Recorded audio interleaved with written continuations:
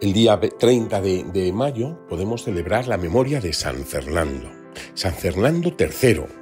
Fernando III, el santo rey, ¿verdad? Y, nos admiramos y le agradecemos al Señor que, que nos ponga el testimonio de hombres y de mujeres que han tenido poder en la tierra, que han tenido, que han tenido gran capacidad de gobierno, ¿verdad? Y que son santos, porque han utilizado ese poder que Dios les ha dado lo han utilizado para el bien, para sembrar, para sembrar paz, para sembrar alegría, para, para buscar el bien de, los, de las personas que tienen encomendadas.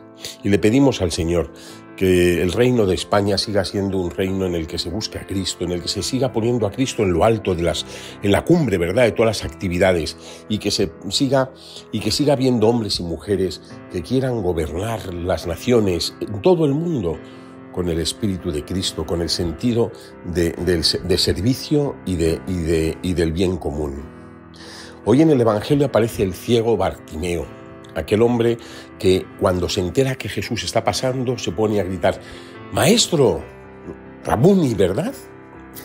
Ten compasión de mí. Esto a mí me hace, me ayuda, ¿verdad?, a saber reconocerme necesitado de Dios y a no tener vergüenza de pedirle al Señor ayuda, de gritarle al Señor, Señor, ten compasión de mí, acompáñame, ayúdame. Haz que pueda yo mejorar en todas esas cosas en las que me está costando tanto luchar. Cuando le, llevan ante Jesús, el maestro le, le, dice, dice, ¿qué quieres de mí? ¿Qué quieres que yo haga por ti? Rabuni, que vea. Señor, que vea. Maestro, haz que pueda ver. Y Jesús le dice, tu fe te ha salvado.